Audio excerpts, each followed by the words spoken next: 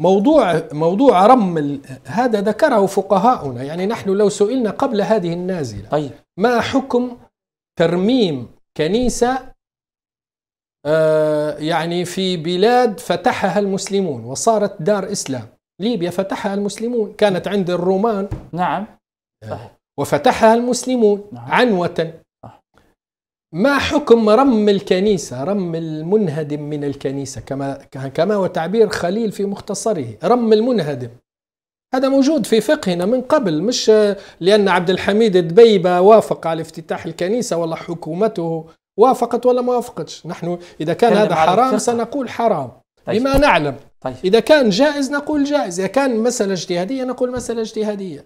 في فقهنا باختصار البلدان المفتوحة البلدان التي فتحها المسلمون إما فتحوها بالقوة عنوة وإما فتحوها بالصلح والتفاهم. وال وال وشو والتشديد في بناء الكنائس. آه، في بناء الكنائس في إحداث الكنائس مش ترميم. ترميمها أسهل. هي كانت هذه الكنيسة موجودة من تمام. القديم. تمام. هل يجوز ترميم من هدم منها وإصلاحها؟ هذا يجوز. حتى في التي فتحت عن الأرض التي فتحت عنوة والشروط أشد فيها. أما التي فتحت صلحا لا يحتاج إلى إذن منا. نحن تفاهمنا مع تلك الدولة أننا لا نتعرض لهم ولا نهجم عليهم واتفقنا معهم على شروط في حالة الصلح. في حالة الصلح. نعم. أرادوا أن يبنوا كنيسة. جاءت السلطة المسلمة قالت لا لا تبن... ليس لها حق. السلطة المسلمة أن تمنعهم في أرض الصلح. في أرض العنوة كما هو هذه النازلة الآن يعني آه، الكنيسة موجودة من قبل. وأرادوا أن آه، على فرض أنها ليست موجودة أصلا. أرادوا أن يبنوا كنيسة.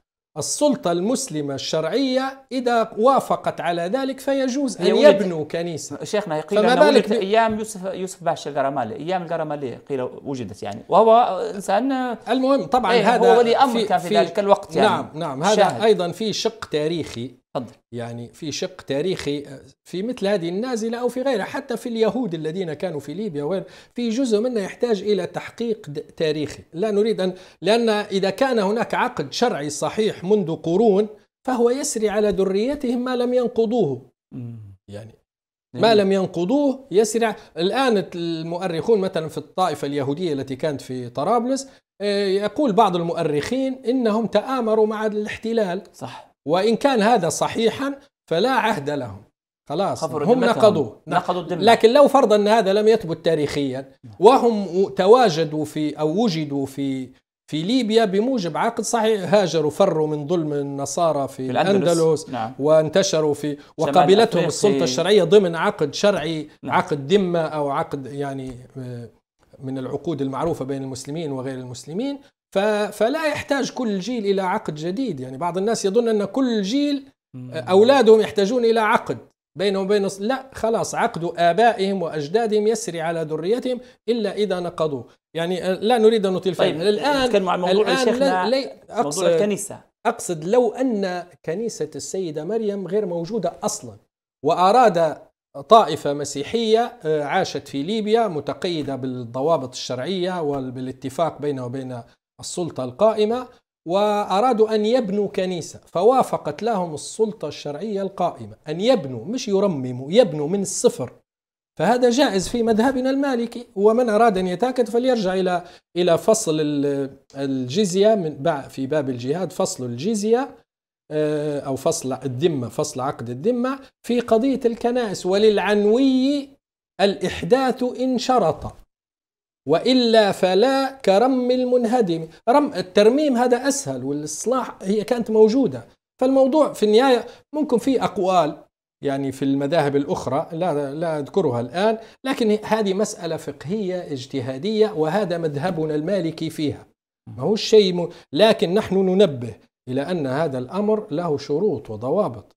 مش معناه يجيب يقول أنا بنفتح قناة بتدعو للنصرانية بنوزع كتيبات في طرابلس أو في غيرها تدعو هذا لا يجوز قولا واحدا. أيوة. وهذا لابد أن يتابع حتى لو كان هناك طائفة مسيحية أيوة. آه، تقوم بعبادتها في هذه الكنيسة هذا جائز وحق لهم لكن بالضبط أن يحترموا المجتمع. شيخنا حتى هم عقيدتهم باطلة يقولون نعم. أن نعم هذه مسألة نعم يعني الآن بعض الناس لا يفرق بين الرضا والإقرار. الإقرار في هذا الباب. طيب كيف تفريق الرضا بالكفر إيش؟ كفر.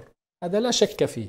إذا علم طبعا بشرط العلم. يعلم أن هذا كفر ثم يرضى به. هذا كفر قولا واحدا. وفي شيء. اسمه الإقرار. لما في في في أحكام آه، غير المسلمين في بلاد المسلمين يقول الفقهاء يقرون على ذلك.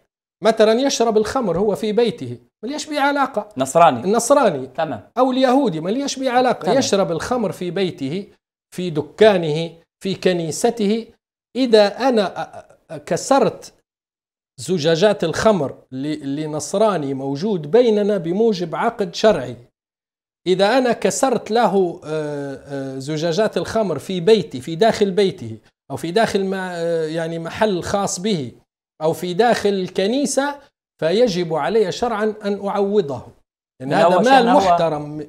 لأنه هو عندهم حلال يعني شرب الخمر. يقرون ما يهمنيش فيه هو حلال في أصل الدين ولا حر لا لا عندهم هم. لكن العقد اللي بيننا وبينهم أننا يعني نتركهم وما وهذه الأشياء. هذا تمام. معنى يقرون عليه. الإقرار لا يستلزم الرضا يعني فرق يعني الآن هو الآن لما يتعبد في كنيسته تمام. هو يقوم بالشرك تمام لما صحيح. يتعبد لعيسى على أنه ولد الله والعياذ بالله على نعم. أنه ابن الله هذا الشرك قال فيه الله تعالى لقد جئتم شيئا وقالوا اتخذ الرحمن ولدا لقد جئتم شيئا إدا نعم. شيئا عظيما يعني يكاد السماوات يتفطرن منه إلى آخر الآيات في سورة مريم نعم. هذا لا نرضى به لكن نقرهم عليه فالإقرار غير الرضا بعض الناس لا يفرق. يقول لك آه بنا لهم كنيسة أو اسمح لهم يبنوا كنيسة أو يفتتحوا كنيسة. معناها رضي بالكفر والرضا بالكفر كفر إذا هو كافر. هذا جهل. شيخنا توا ما زلنا جميل. إن شاء الله واضحة هذه. لا لا الفرق بين يقرون على عباداتهم وعلى نعم. ممارساتهم الخاصة بشرط ألا ينشروها في أسواق المسلمين ولا يعلنوا بها ولا يروجوا لعقائد باطلة. وأما دينهم في كنيستهم هذا حقهم يعني لا نتدخل فيه ولا نمنعهم منه. طيب دخول. ومنه رم المنهدم هذا الذي